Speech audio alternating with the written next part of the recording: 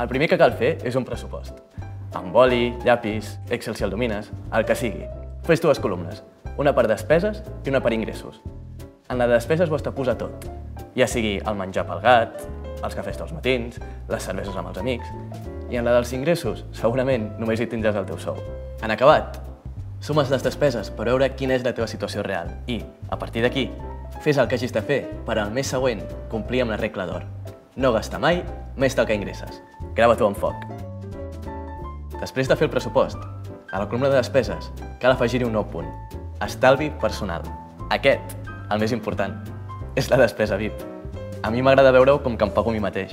I per pagar-me a mi mateix de veritat, el que vaig fer va ser obrir un compte d'estalvi on cada mes hi poso un 10% del que guanyo. També és important retallar despeses. A tots ens costa deixar de gastar, però sempre podem menjar de carmanyola més dies a la setmana o contractar una tarifa de menys gigas. Ah, i el gimnàs. Realment hi vas? Perquè si no, a córrer al carrer. També és important prioritzar. Cal fer l'esforç de decidir què és el que realment ens aporta alguna cosa i gastar primer en allò. Ah, i una altra cosa. Pagar crèdit amb la targeta pot ser una bona solució.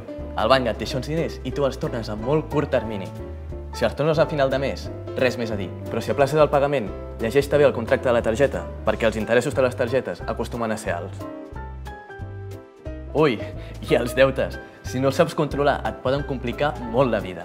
Així que ja saps, abans d'endeutar-te, pregunta't, realment ho necessito? Ho necessito ara o pot esperar?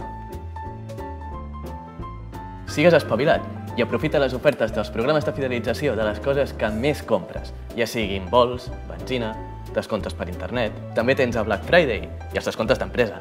Mira-te'ls bé perquè allà pots estalviar-te una pasta. Aprofita també les rebaixes i compra allà les coses que realment sí que necessites.